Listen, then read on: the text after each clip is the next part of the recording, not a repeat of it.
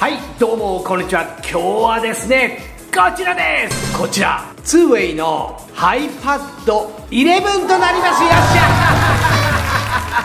はいよいしょというのでさらにこちら 2way の iPad11 に対応したハイペン H8 となります。よっしゃ。よいしょっていうのでですね今回なんとこちらを 2way さんからサンプルとして貸し出していただきましたよっしゃ よいしょー。ということでありがとうございます。価格の方が2万5900円となりますよっしゃよいしょーっていうので、ちょうどど真ん中の11インチの Android タブレットという感じになるのかなと思いますね。これよりもね、安いタブレットっていうのはいくつかありますが、かの有名な 2way さんが作ったタブレットなんでね、間違いないだろうと、かなり期待の方をしている次第です。今ね、ストアの方で確認したんですけども、こちら2万5900円なんですが、ストアから直接購購入されるとクーポン券がついてましてこのクーポン券利用することで2万3000円で購入できます。よっしゃ！よいしょっていうのでかなり期待を持って今回見ていきたいなと思っているタブレットとなりますね。僕自身がね8インチタブレットを家でまあ仕事に行く前に動画視聴で主に使用してるんですが今回11インチタブレットを使用してみてどんな使い心地の違いがあるのかね、まあ、とことんまでちょっと見ていきたいなというふうに考えています。今回ねこちらレビューさせてもらった後1ヶ月ぐらいバシバシに使ってみてですね第2弾として1 1ヶ月後どんなことに気づいたかいい点悪い点含めてねご報告の方もさせてもらったらというふうに考えています。はいそこでね今回予定している動画の流れなんですが1点目にスペックの確認をさせてもらい2点目として開封から設定までの流れ。3点目としてベンチマークの結果はどうだったのか。4点目として簡易的な動作確認ですね。最終的には5点目として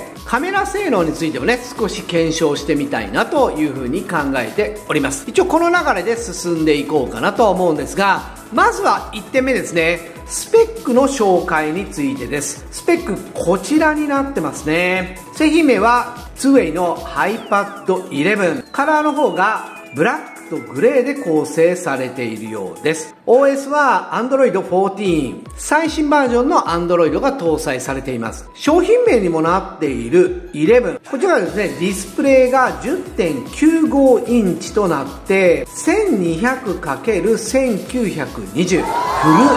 HD となっております。よっしゃ！はいよいしょーっていうので通常はですね 1080×1920 でフル HD なんですが最近流行りの少し縦長16対9ではなくて16対10となってますね。これはかなり楽しみな要素かなというふうに思います。SOC プロセッサの方がユニソックの T616 ユニソックですね。結構安いタブレットによく使われてるのでどんなパワーなのか少し心配ではありますよね。実用的なパワーが出てくるんでしょうか。そしてグラフィックスの方がマリ G57 という風になっております、はい、そしてストレージの方がですね今回 128GB よっし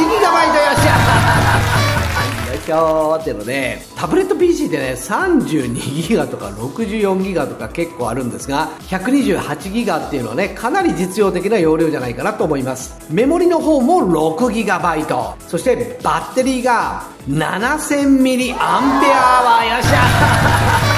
はいよいしょー。ってのでスマホでね 5000mAh あれば1日以上持つよねという状況なんですけどタブレットで画面がでかいんでね持ちがどのぐらいなのかかなり大容量な感じはいたします。そして全体の重量の方がですね約 493g となっております。かなり軽い方ではないかなと思いますね。インターフェースの方が USB の Type-C が付属しておって USB は 2.0TF カードが付属しております。最大で 512GB と伺っておりますね。使ってみないとわからないところありますが非常によくまとまっているスペック構成なんじゃないかなというふうに思いますね。そして今回はスマートスタイルペンが一緒に送っていただきました。こちらね単品で購入すると3000円するんですよね。タッチペンにもきちっと対応してるみたいなんで非常に楽しみですね。はいというので早速こちら開封の方をして設定の方にね持ち込んでいきたいかなと思いますねじゃあ開けてみます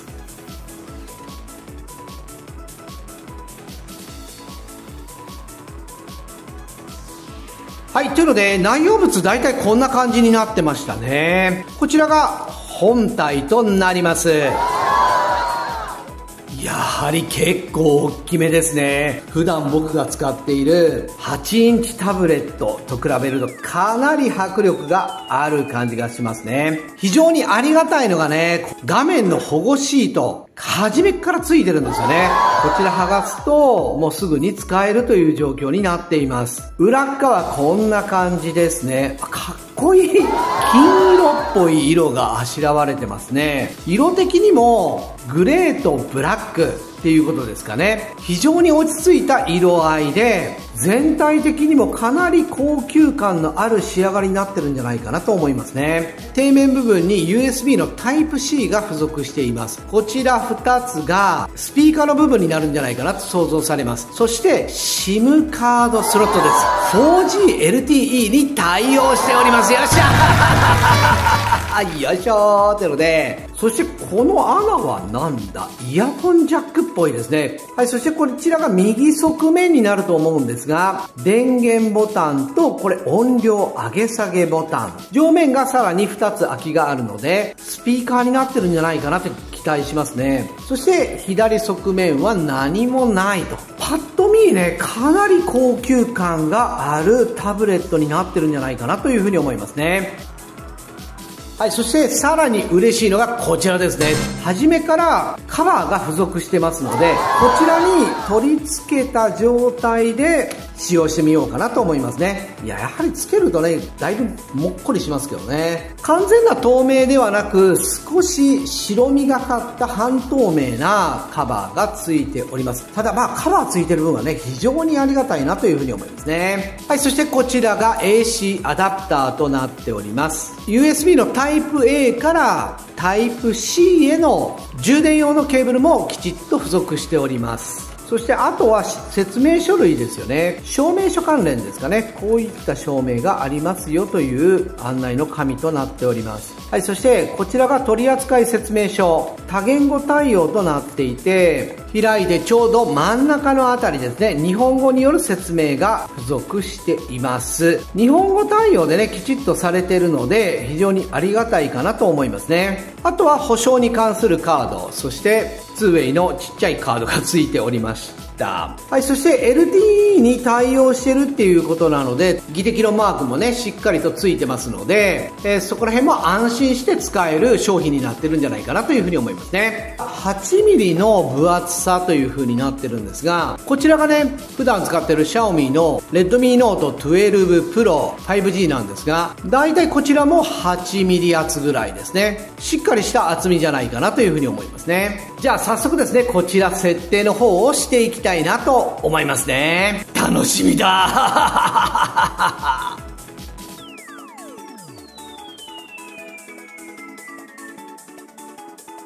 はい。ということでですね、無事に設定の方が全て完了いたしましたよっしゃ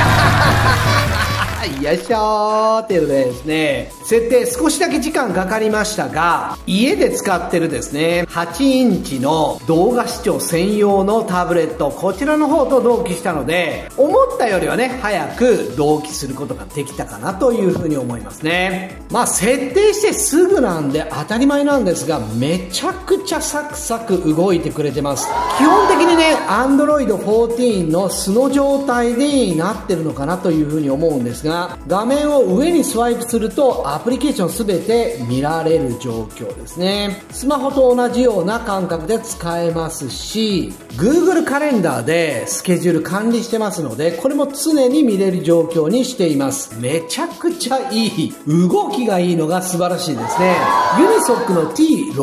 6。あんまりパワーないんじゃないかなというふうにあらかじめ思ってたんですが、アンツツベンチマーク、そしてギークベンチ5、それぞれベンチマークソフトを回しておきましたので、まずはそのベンチマークの結果を見ていきたいなというふうに思いますね。まずはこちらです。アンツツベンチマークの結果。結果の方が27万1917ポイントよっしゃ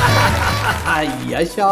ーっていうので、まあ、あんまり高くはないですよね。CPU の方が9万985ポイント。GPU が2万6271メモリーが8万5079そして UX の方が6万9582ポイントとなっています。少し気になってるのは GPU の値がかなり低めのような気がしますよね。タブレットとして使う分にはパワーは全然問題ないんですけどもゲーム機として使うにはなかなか厳しいんじゃないかなと思いますね。軽いゲームであればバシバシ動くかもしれませんが重ためなゲームは本当にやめといた方がいいかなというふうに思いますのでゲーム目的でねこれ購入するっていうのは少し違うような気がする。そんな数値になってしまっています。ただ2万円と少しでかなりサクサク動くタブレット。それで考えると十分な数値を出してくれたんじゃないかなというふうに思いますね。かなり快適に動いております。はい、そしてこちらの方がギークベンチ5の結果ですね。シングルコアスコアの方が366、マルチコアスコアの方で1306ポイントよっしゃ。よいしょーってので、決して高い数値ではないんですが、今まで蓄積してあるデータから確認してみるとこんな感じです。ね。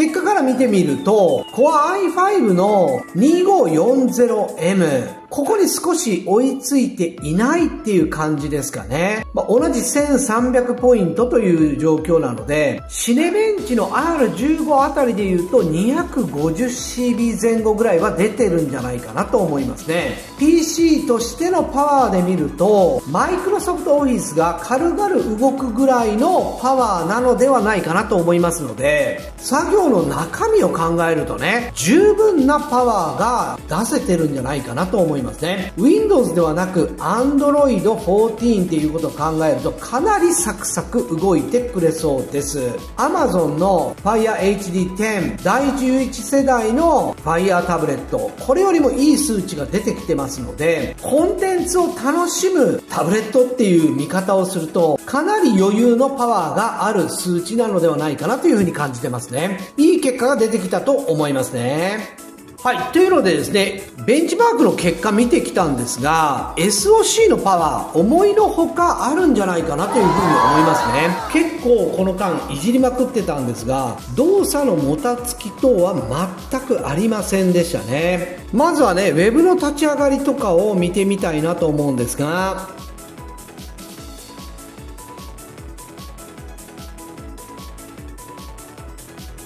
ドもねかなり速いんですよね。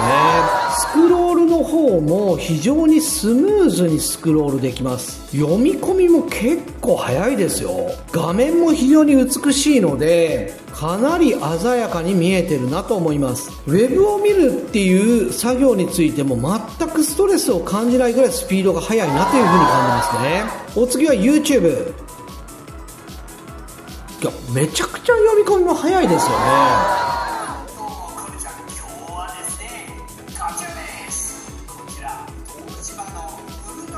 YouTube も全く問題ない感じがしますよね。次 Amazon プライムビデオの方なんですがこれもね非常に読み込みが早いです。はいというのでこれ僕の勝手な感想なんですがめちゃくちゃスムーズに動くプラス音も結構いいんですよね。音にあまりこだわりないのでそんなことどうでもいい感じなんですが家で使ってる8インチのタブレットの音がめちゃくちゃ悪いのでそれに比べてしまうとめちゃくちゃレベル高いと思いますね。っていうので動画の視聴などなどには全く支障がない感じ。Google サービス系は全く問題なくね使えそうなので家でパパッとやらないといけない作業とかも、まあ、Google サービス系多いんですけども積極的に使っていけそうなそんな予感がしますよね。MS Office インストールしてませんが Web 版で使用するっていうのにもちょっと使ってみたいなというふうに感じています。割とストレスなく使使えそうなそんな予感がしますね。はいそしてこちら。同じく 2way さんからご提供いただいたハイペン H8 でございます。よっしゃ。よいしょー。ってのでこちらの使い心地どんなもんか今からちょっと試してみたいなと思います。こちらのペンなんですが以前ツーウェイさんが標準で使っておられたペンよりも非常に薄くなりなおかつ嬉しいのが充電式になってるんですよね。US Type-C での充電です。電池式だとね電池がかなりちっちゃいのでなくなった時手に入れるのがなかなか難しかったんですが充電式になったっていうので非常に嬉しいですね。ペンのこちらトップの部分にボタンがありましてこちらのボタンを押すことで使用できるようになるみたいですね。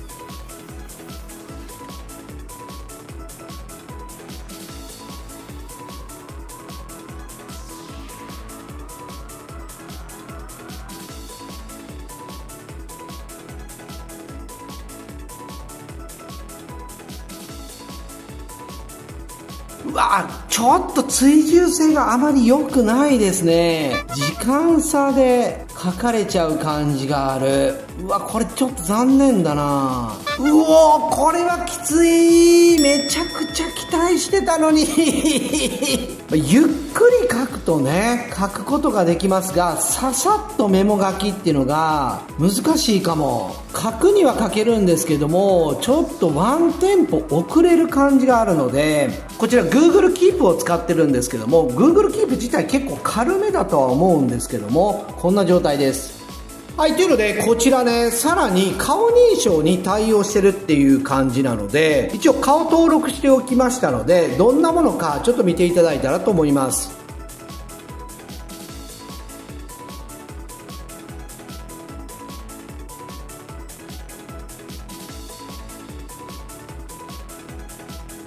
はい、というので、こちらカメラあるんでね、このカメラにきちっと顔が映る状況になれば、顔認証すぐにできて、画面が開くという状況になってますので、反応速度もなかなかいいんじゃないかなというふうに思いますね。顔認証についてはかなりスピードも速く、認証精度も高かったと思いますね。はい、っていうのでね、こちら、iPad 11なんですけども、背面に1300万画素のカメラ、そして前面の方に、インカメの方でね、500万画素のカメラ、搭載されております。予想ではね、簡易的なものなんじゃないかなという風な予想は立つんですが、一応ね、写真の方を撮ってまいりましたので、どんな違いがあるかっていうのでね、確認の方をしていきたいと思います。はい、というのでこちらの方が背面のメインのカメラで撮った写真となります。左側が iPad 11、そして右側が僕がメインでスマホで使っているシャオミの Redmi Note 12 Pro 5G となります。当然ね、スマホの方がいいに決まってるんですが、左側 iPad 11の方なんですけどね、比べてみると明確に赤みがかってますよね。なんかレトロ調にちょっと撮れちゃった。何か設定が間違えてたのかもしれません。一応は綺麗には撮れてるんですが、記録用カメラとして割り切って使うというような、そんなカメラじゃないかなというふうに思います。ですね。一応ね、風景画を撮るとこんな感じとなりました。はい、そしてこちらの方が、その公園に生えたね、草の花、これを撮ってみたんですが、左側ね、やはりちょっと白っぽくなっちゃいましたね。若干白抜けしてる部分もあるんですが、まあ、一応はね綺麗には撮れてるんじゃないかなと思います。右側はね AI が働いて緑色がより緑色に若干補正が加わってるような気がしますがやはり綺麗に撮れているという状況になってますね。一応カメラはこんな感じの性能だなというので見といてもらったらなと思いますねはい、そして500万画素のインカメの方の写りなんですが、わかりますかねこんな感じ。ズームなどの会議で使用できる分には、全く問題ないレベルの美しさの画像が撮れてるんじゃないかなというふうに思いますね。はい、ということでね、いろいろ見てまいりましたが、ツーウェイの iPad 11結果から申しますとかなりいいんじゃないかなと思います。よっしゃ。よいしょー。ってので、まあ、2万円ちょっとで買えるフル HD ですね。高解像度のタブレットとして考えればかなり性能は高いと思われます。よっしゃ。はいよいしょ